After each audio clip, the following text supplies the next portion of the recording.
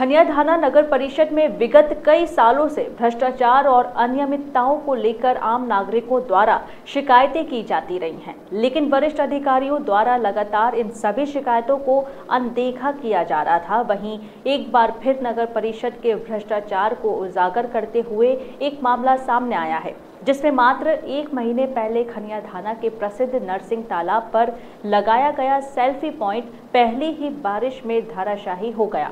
आपको बताने की तीन लाख नब्बे हज़ार की लागत से ये सेल्फी पॉइंट बनाया गया था। अब देखना होगा कि इन भ्रष्टाचारी अधिकारियों पर कार्रवाई कब तक होती है। अध्यक्ष से लेकर जितने ही पार्षद थे वो सब कांग्रेस ही थे तो अभी क्या है कि नगर नगर पालिका में अभी उन्हीं का दबदबा है।